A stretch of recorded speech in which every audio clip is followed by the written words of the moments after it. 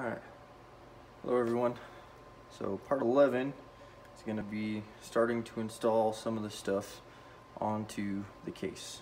So we're going to install the park lever and the shift selector and this piece holds it on all that fun stuff put some aluminum pistons in here and yeah we'll go from there.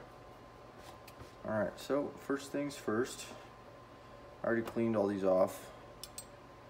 Uh,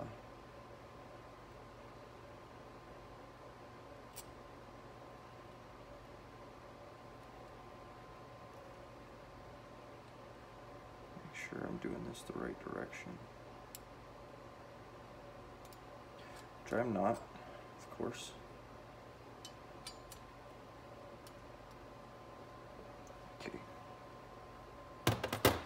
I'm going to take this piece. This is the part that slides through the case over here. It uh, holds the this in place and it holds the safety nut. Oh, I'm not even showing on the camera. So I got this piece and this piece. This is the piece that goes through the case and holds this on. And then uh, the other one, th this piece is like the selector switch sort of for inside the valve body or inside the transmission.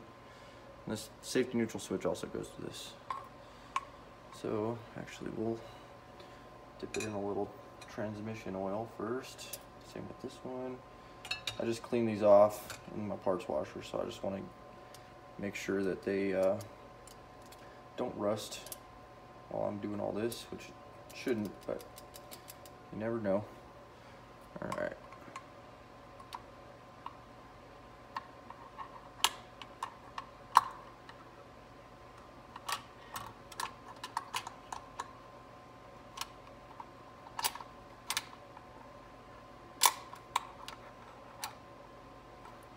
Okay, so once that's on there, gonna take the washer. Where'd the washer go?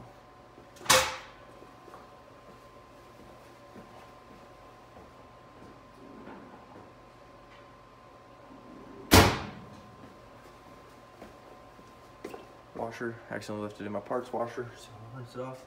Or get the cleaner off with good old brake clean. Dip that in some fluid. And then it is going on there just like that. And then you're just gonna wanna do it hand tight for now. Can only fit in there one way, the selector, because it's keyed on the actual, well it's keyed on both of them, but it's like a little rectangle. So you want that in there uh, hand tight. And then you got this little guy, which is the little spacer that goes over on this side. It's gonna go right there. Gonna push it on. And then, there we go. I think it's a 5 8 wrench or a 14. Let me grab.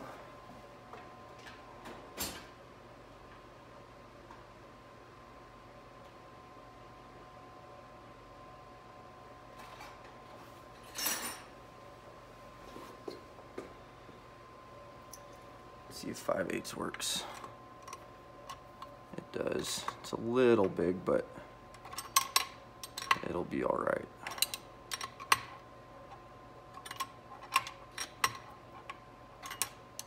Just want to tighten it until it stops. And then when it gets there, I'll just use that to my advantage. Actually, I'll push this over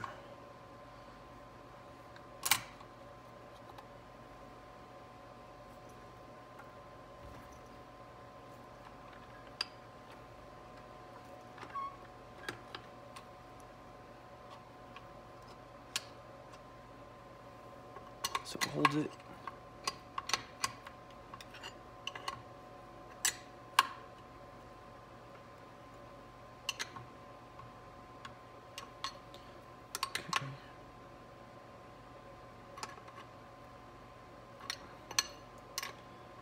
All right, that's, uh, just want to do it not too tight, but enough to where it'll hold it on there.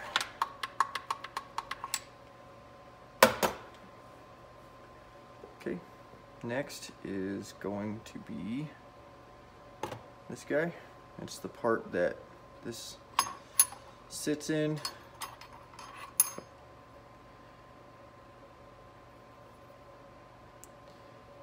Like this. And we'll push that over so it'll go down there. And then the two bolts for that, right here, one is here. The other goes down right there.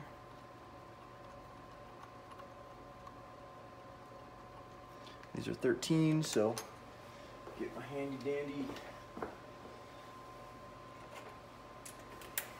this guy to tighten them. Well, not tighten them, but you know what I mean. Get them down there, and then I'll get the wrench on them.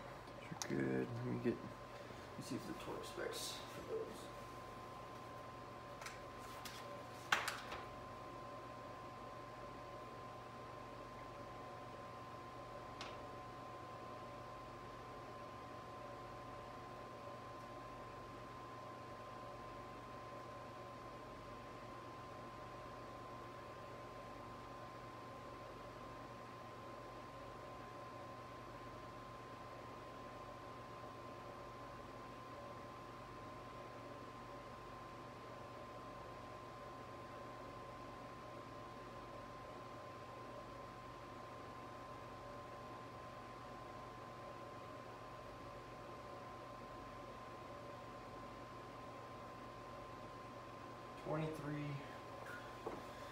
foot pounds. So I will get my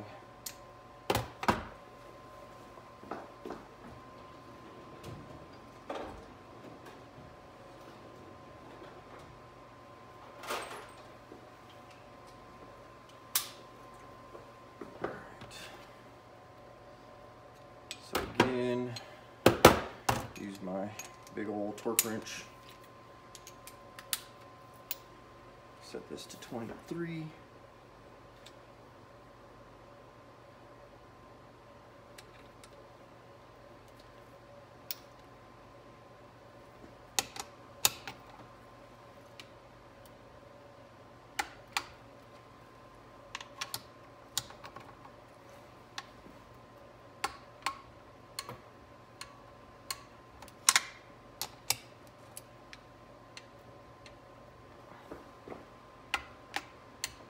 Alrighty.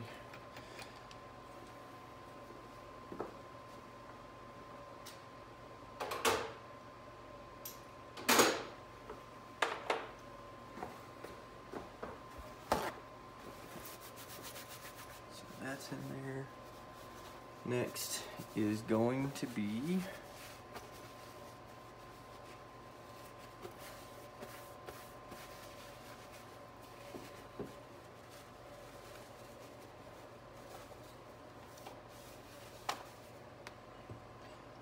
I'll put these guys in.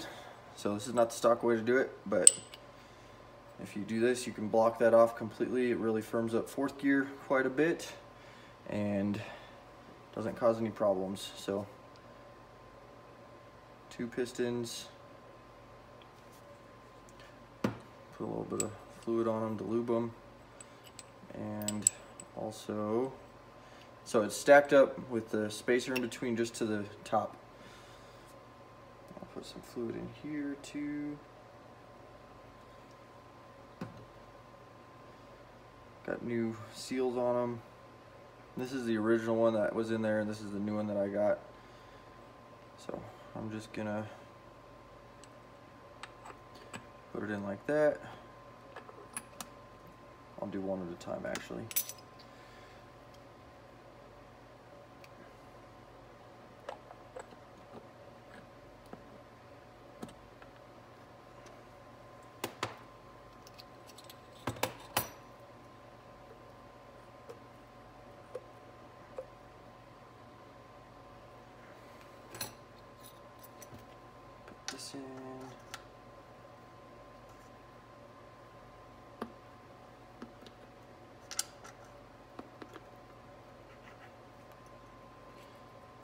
The spacers in. And then the second one. And it should be right at the top.